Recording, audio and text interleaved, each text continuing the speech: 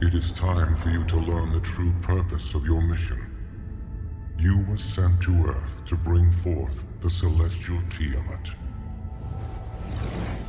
Every billion years, new celestials must be born. I plant celestial seeds into host planets across the universe. The planet Earth was chosen to host the celestial Tiamut.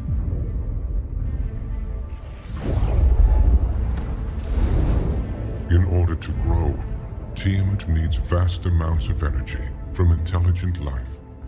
The Deviants prevented this by consuming humans until the Eternals eliminated them. Now, the human population of this planet has reached the required amount.